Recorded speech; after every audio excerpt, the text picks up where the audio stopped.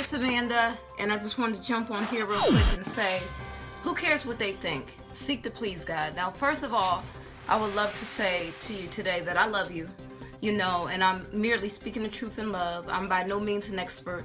The Bible encourages us, let the redeemed of the Lord say so, whom he hath redeemed from the enemy. I don't come before you as a perfect saint, but I come before you as somebody willing to be perfected by the Lord. And I come to share my testimony. He said they overcame by the blood of the Lamb and by the word of their testimony.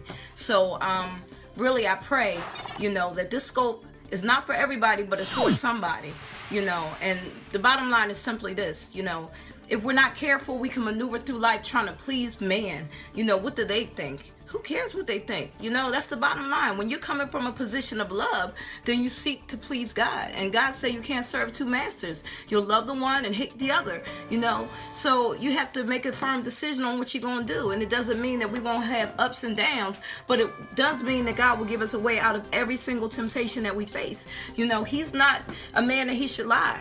So all of this trying to worry about what other people are thinking can be a hindrance to your assignment, to your destiny, to your purpose. And so, you know, there's never going to be a right time. You just got to make a decision. He said, Our works are as filthy rags. That's the bottom line.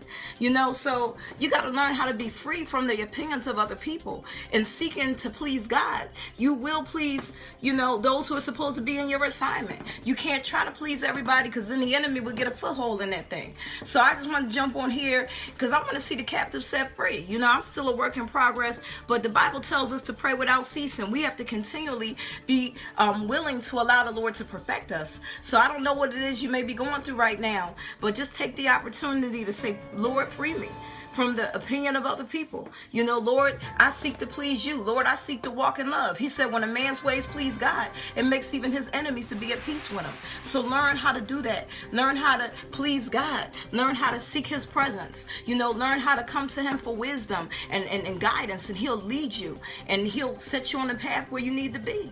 You know, it's really that simple. Do you know that you're God's beloved? He said, Beloved, I wish above all things that you be in health and prosper, even as your soul prospers. Do you understand how much God loves us? He loves us unconditionally. And there are consequences to our actions, but he always gives a way of, gives us a way out of every temptation. He said, Whosoever shall call on the name of the Lord our God shall be saved. And I don't know about you, but that sounds like good news to me. So, what I wanted to say Seek to please God. Stop being so consumed about what other people are thinking. Why? Because all have sinned and fallen short of the glory of God. But God's mercy is new every morning. Great is his faithfulness. Understand that God is not mad at you. And when you, the sooner you get free from the opinions of other people, the sooner you can walk in the God given purpose and assignment that the Lord has for you. Shalom.